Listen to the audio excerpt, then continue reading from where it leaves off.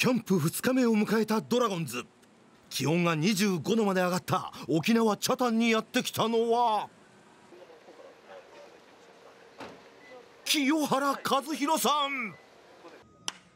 高校の後輩でもある立浪監督の激励をしに3年連続で北谷を訪れました。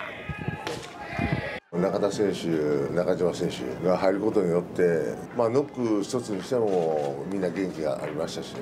バッティングの打球の勢いがね去年、おととしと全然違うなという感じがします、ね、いやとにかくファイティングです。一方ピッチャーでは選手会長の柳裕也投手が初ブルペン。バランスを意識しながら32球を投げ込みました。さらに去年の WBC で世界一に貢献した高橋宏斗投手は。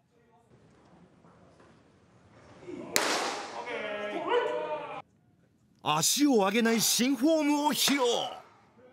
誰かの真似をしてというよりかは自分が一番いい球がいくバッターが抑えられるフォーム。メリットデメリットは自分の中でもありますしシーズンどっちになってるかは分かりません。そして今年の目標を聞かれるともちろん開幕戦自分の中で目標としてやってますし球でアピールして勝ち取りたいなという気持ちはあります。